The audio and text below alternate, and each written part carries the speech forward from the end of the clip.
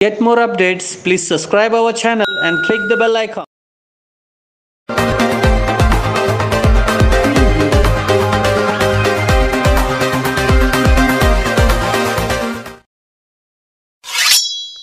ಬೆಳಗಾವಿಯಲ್ಲಿ ಆಟೋ ಚಾಲಕರಿಗೆ ಎಸಿಪಿ ಖಡಕ್ ವಾರ್ನಿಂಗ್ ಬೆಳಗಾವಿ ನಗರದಲ್ಲಿ ವಾಯುವ್ಯ ಕರ್ನಾಟಕ ರಸ್ತೆ ಸಾರಿಗೆ ನೌಕರರ ಪ್ರತಿಭಟನೆ ಹಿನ್ನೆಲೆಯಲ್ಲಿ ಆಟೋ ಚಾಲಕರು ಬೇಕಾಬಿಟ್ಟಿ ದರ ವಸೂಲಿ ಮಾಡುತ್ತಿದ್ದು ಕಂಡುಬಂದಿದ್ದರಿಂದ ಬೆಳಗಾವಿ ನಗರ ಸಂಚಾರಿ ಉಪ ಆಯುಕ್ತರು ಆಟೋ ಚಾಲಕರಿಗೆ ಬೇಕಾಬಿಟ್ಟಿಯಾಗಿ ಆಟೋ ದರ ವಸೂಲಿ ಮಾಡಬಾರದೆಂದು ಆಟೋ ಚಾಲಕರಿಗೆ ಎಚ್ಚರಿಕೆ ನೀಡಿದ್ದಾರೆ.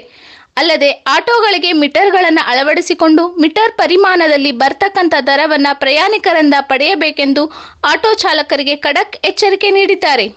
ಸಂಯುಕ್ತ ದರ್ಶನ ನ್ಯೂಸ್ ಕಾಕ್ತಿ ಬೆಳಗಾವಿ.